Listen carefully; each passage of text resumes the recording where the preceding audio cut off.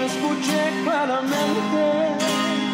De tus labios, mi amor,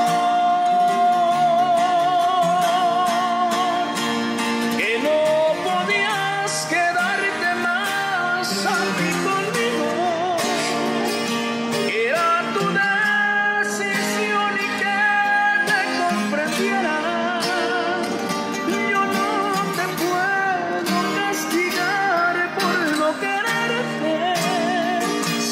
felicidad.